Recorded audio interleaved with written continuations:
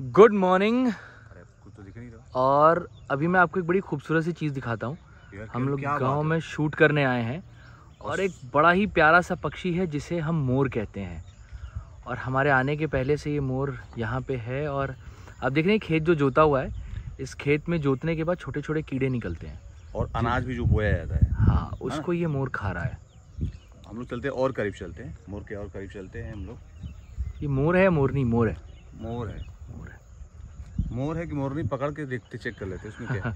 ये पक्षियों को डिस्टर्ब नहीं करना है अरे तो डिस्टर्ब नहीं करना है हाँ। ये अपनी धुन में है। और हम लोग भी अपनी गया गया गया अंदर गया अंदर गया अंदर धीरे धीरे धीरे अच्छा देखते हैं हाँ एक ये चलते रहे चलते रहे चलते रहो चलते रहे चलते धीरे धीरे धीरे धीरे हम लोग इसके करीब पहुँचते जा रहे हैं। देखते क्या एक्टिविटीज़ करता है। उड़ता है कि क्या करता है? उड़ता है मोर तो उड़ता ही है हो, झूम के ना हाँ। एक्टिव रहना है बहुत अच्छा चीज़ मिला आज हम लोगों को सुबह सुबह। इसलिए बोलते हैं कि अब आगे जाना मुझे लगता है ठीक नहीं क्योंकि वो निकलता चला जाएगा। हम ज़्यादा पास पहुँचेंगे तो चला जाएगा तो वो सही है ना? देखते उड़ेगा उड़ तो- जाएगा। तो चलेगा चलेगा ना? क्या हुआ? उड़ एक अच्छा आपको जो है वो देखो भागा। भाग गया। वो भागता रहेगा। भागता रहेगा। वो चला जाएगा। उड़ेगा नहीं वो। नहीं अभी वो कुछ खाने पीने की फिराक में है। इसलिए उड़ नहीं रहा है। तो दोस्तों, जैसा कि हम लोग मोर का पीछा करते करते हम लोग खेत के मीढ़ी पे आ गए दोनों तरफ़ धान है और धान एकदम अपने जो है कटाई की कगार पे है। मुझे लगता है हफ़्ता दस दिन के अंदर देख सकते हैं, ये सब धान जो है कट जाएगा।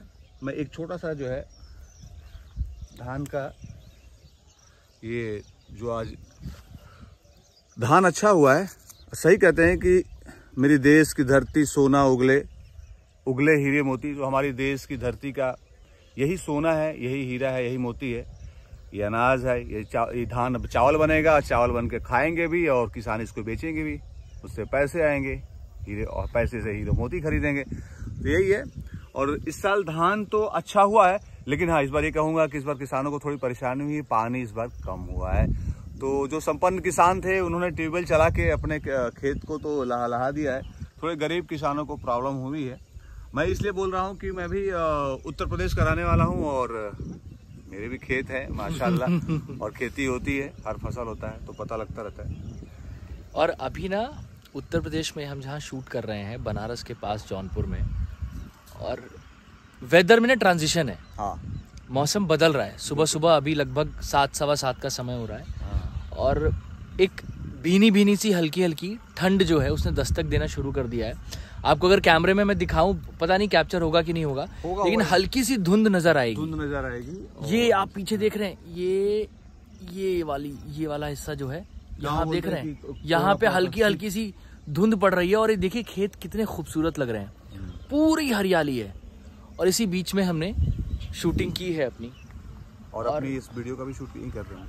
हाँ और वाकई बड़ा मज़ा आ रहा है यार। बॉम्बे में रहने के बाद वो चकाचौंध दिन भर भाग दौड़ ट्रैफ़िक चह पे चह पे होता रहता है। और ये जो सुबह सुबह की जो शांति है आते आते खूबसूरत मोर दिखा ये फ़सल दिखी तो बहुत एनर्जाइज हो जाता है आदमी। और बस अभी हम लोग रेडी होंगे मेकअप करेंगे और अपना क्यों? हमारे बुज़ुर्ग और पुराने लोग बोलते हैं कि सुबह उठो। हाँ। सुबह उठना हज़ार नियामत है। तो हज़ार नियामत इसलिए कि सुबह जब आप उठेंगे तो ऐसी आपको जो है शुद्ध वातावरण मिलेगा है ना? हम्म। अब जैसे क्या होता है शांत माहौल मिलेगा और आपको काम करने का लंबा वक्त मिलेगा। जब सुबह आप उठते हैं तो इस वजह से आप भी दोस्तों कोशिश कीजिए कि सुबह उठे अर्ली स्लिप अर्ली वक्त early to bed early to rise make the man healthy wealthy and wise love you tata. हाफिज। सबको प्रणाम सबको सलाम। लव यू जय भारत जय हिंद।